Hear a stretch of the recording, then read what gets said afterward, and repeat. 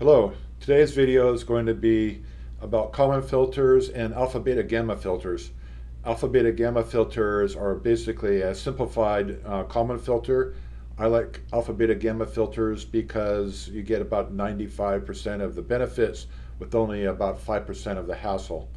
Most of the information comes from this book, Dan Simon's uh, uh, Optimal State Estimation. Uh, it's a pretty good book. It does need some errata and uh, uh, it does, it's very light on workable examples. So that is what I'm trying to provide now.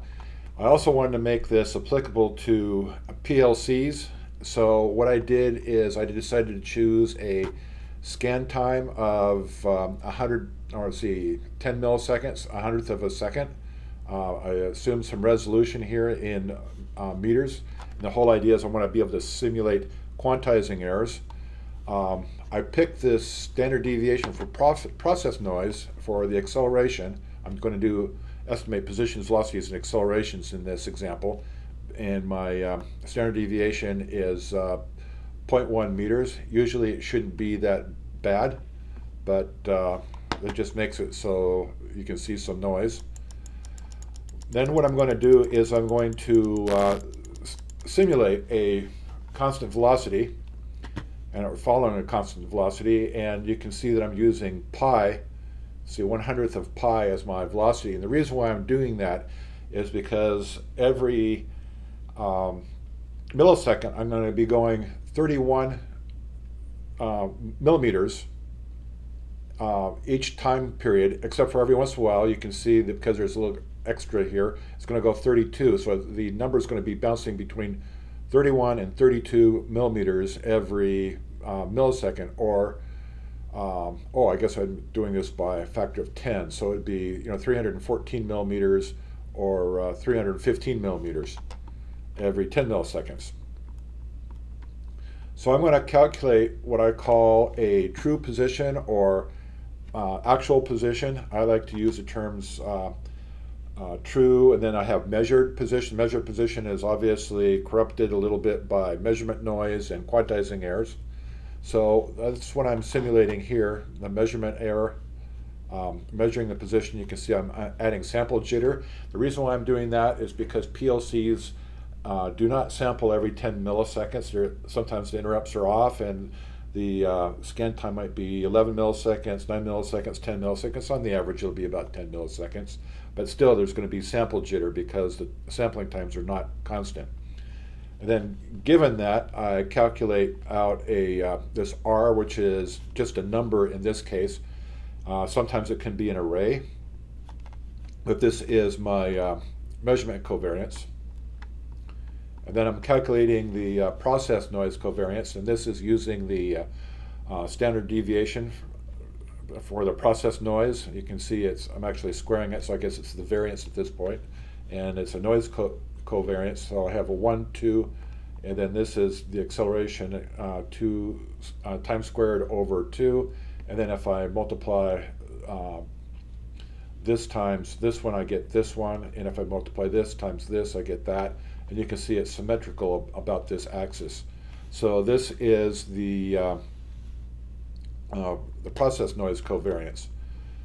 Now, this is the transition matrix, and the transition matrix is just um, estimating that it, ahead is used to predict, and it's basically saying the state's going to do whatever the state was doing last time. So if I have a position, velocity, and acceleration, you can see the acceleration times this one will just mean the acceleration will not change. Uh, then if you have the um, acceleration or the velocity here times the acceleration times t, then it's going to calculate out a new velocity. But basically the acceleration is not changing. And then the same thing for the, this is multiplied by the position, the velocity, and the acceleration to estimate the new position. And this is like the C matrix on uh, normal uh, state space. So there's uh, a couple ways of calculating the, the Kalman gains.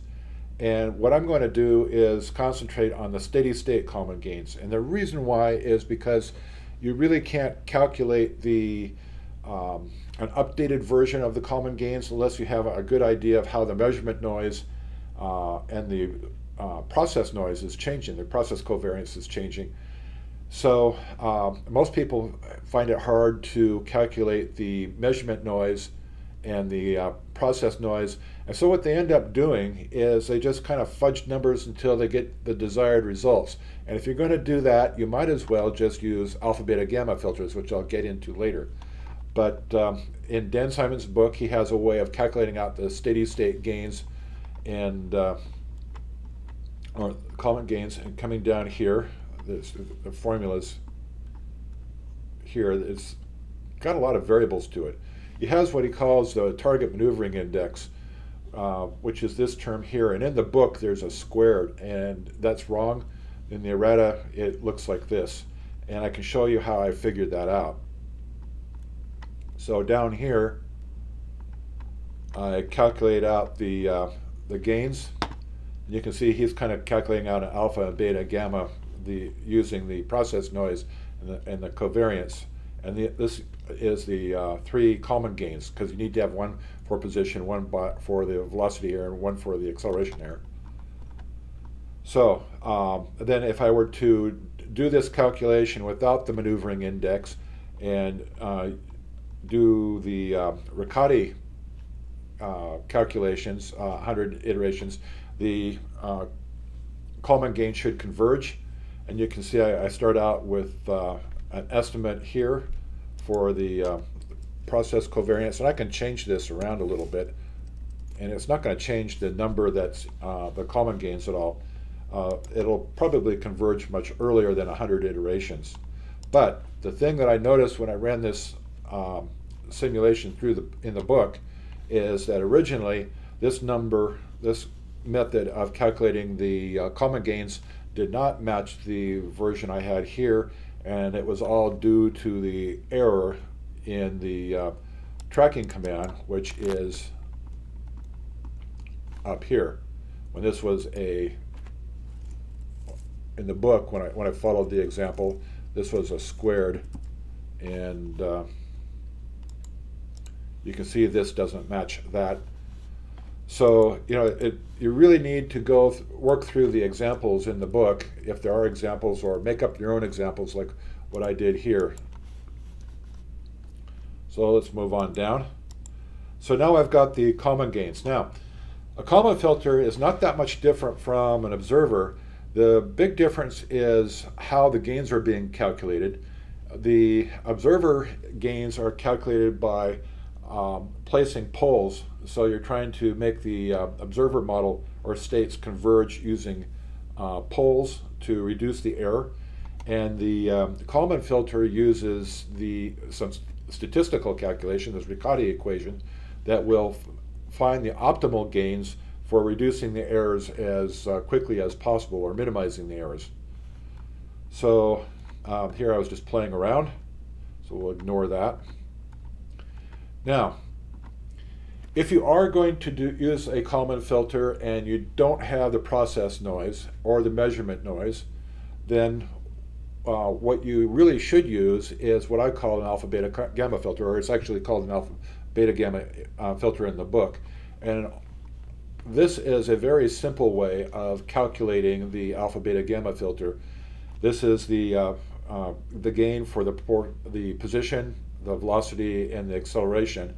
And if I made this a 3, 3, it would be uh, closing the error like uh, there are three poles at uh, um, like three real poles, but this is more of a Butterworth. Uh, this 1, 2, 2 is more of um, having the Butterworth uh, filter type uh, coefficients. And basically what you end up doing with this is you just change the gain or the, the frequency, the bandwidth here, till you get the desired result. And it's much simpler than trying to go through the Riccati equation or this other method up above where uh, there's about 10 steps to calculating out the gains. So now let's see how this really works. And uh, first what I do is I start out by estimating the new state, which is done here. And again, um, X is uh, perfect data or actual data. And then what I'm doing is I'm adding noise. I'm calculating measurement noise and process noise. And you can see that the standard deviations are here. So now what I'm um, doing here is I'm calculating uh, an imperfect measured position. So I'm adding process noise, measurement noise. Um, I'm truncating it due to uh, the resolution. And so this is not going to be a, um, a perfect number as you'll see. And then I have, um, okay, this is the new predicted value. And that's using the Kalman filter gains times the measurement that we get from the device. This is the measured position. And we subtract the, uh, uh, well, this is C times F times, well, this is the estimated position. And uh, then what we return is the uh, perfect position, the measured position, and the estimated position. So working through the example, I'm doing a, a few iterations and uh, I'm going to plot the positions. So let me explain what's happening here. On this side I've got the actual measured and estimated positions and on this axis I've got the measured and estimated error. So the actual position or you know the perfect position is this red line that goes at, at a slope and basically uh, because the um, the actual position or perfect positions are going at a constant velocity, uh, you'd expect the, the slope to be level. The measured position is this green line. Hopefully you can see that. And you can see that it's kind of bouncing all over the place. And that's due to the, the um, measurement error, the quantizing, the jitter. So now I've got the estimated position, and this is come, comes from the Kalman filter. So this is what you want to look at.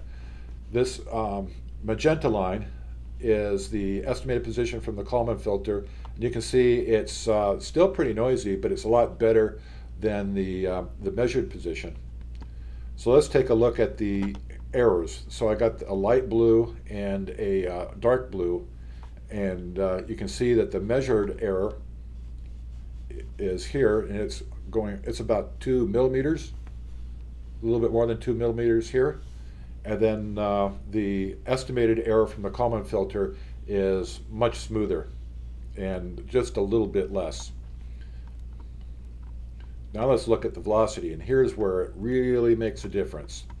Okay, you'd expect the velocity to be relatively constant, and you can see the actual velocity is, but the measured velocity is jumping all over the place. And the reason why is because what it's we're doing is we're taking, uh, well, let's see if I can just click over here.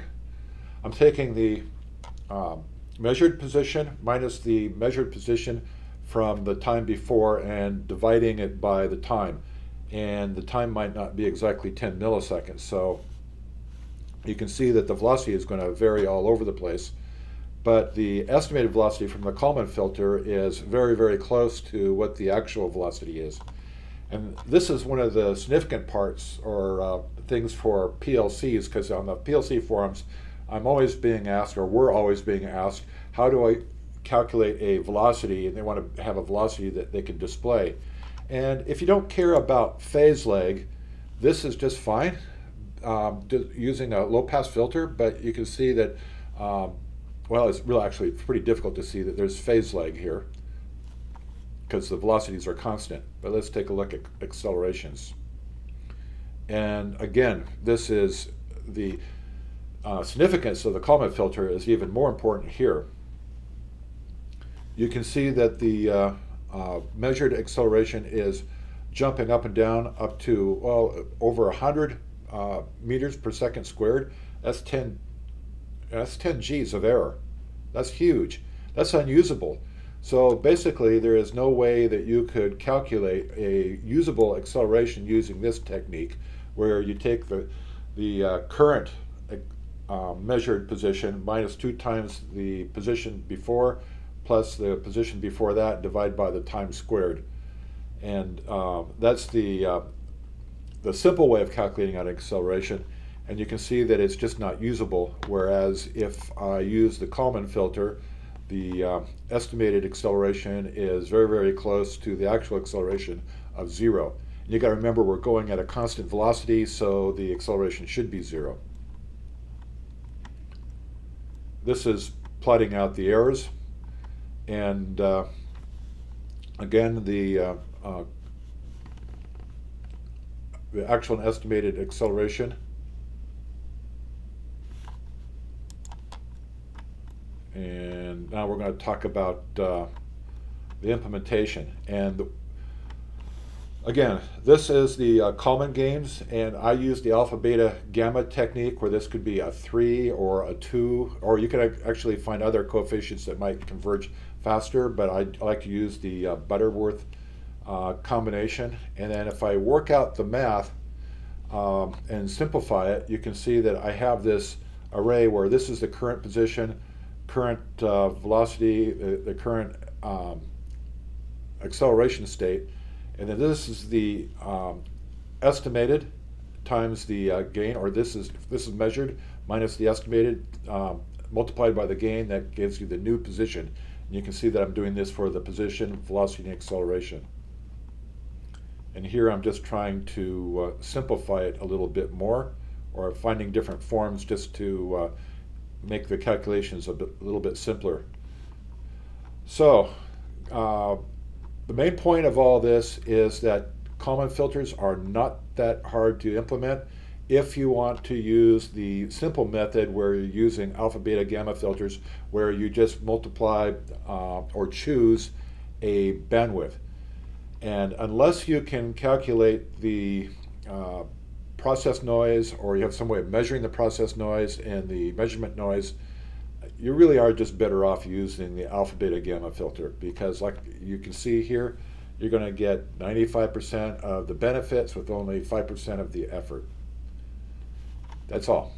Bye.